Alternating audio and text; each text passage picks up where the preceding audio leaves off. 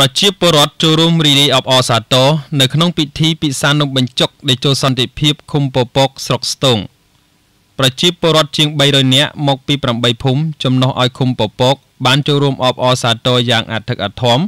ប្រកបដោយទឹកចិត្តសប្បាយរីករាយនៅក្នុងពិធីពិសានំបញ្ចុកដេជោសន្តិភាពនៅក្នុងបរិវេណវត្តពពក ដែលបានដឹកនាំដោយឯកឧត្តមសុខហៃនិងក្រុមការងារចុះជួយឃុំពពកស្រុកស្ទងខេត្តកំពង់ធំ។ប្រជាពលរដ្ឋទាំងចាស់ទាំងក្មេងដែលបានអញ្ជើញមកពី8ភូមិក្នុងឃុំពពកដើម្បីចូលរួមពិសានំបញ្ចុកដេជោសន្តិភាព មានការសប្បាយរីករាយដោយអបអរសាទរសម័យដេជោសន្តិភាព បង្កើនការសាមគ្គីភាព មិត្តភាព និងការអភិវឌ្ឍក្រោមការដឹកនាំរបស់សម្ដេចអគ្គមហាសេនាបតីដេជោហ៊ុនសែន ជាប្រមុខរដ្ឋាភិបាលកម្ពុជាដែលបានដឹកនាំនាវាសន្តិភាពរយៈពេល40ឆ្នាំជាប្រវត្តិសាស្ត្រនៃប្រទេសកម្ពុជាដែលមានសុខសន្តិភាពយូរអង្វែងជាងគេនិងបានបង្កើតកម្មវិធីពិសានុបញ្ចុកសន្តិភាពមិត្តភាពនិងត្រូវបានប្រារព្ធពិធីស្របគ្នាទូទាំងប្រទេសនៅថ្ងៃទី9ខែមិថុនាឆ្នាំ2019ឯកឧត្តមសុខហៃប្រធានក្រុមការងារចុះជួយឃុំពពកបានមានប្រសាសន៍ថាសូមកាត់សរសើរដល់លោកតាលោកយាយពុកម៉ែបងប្អូន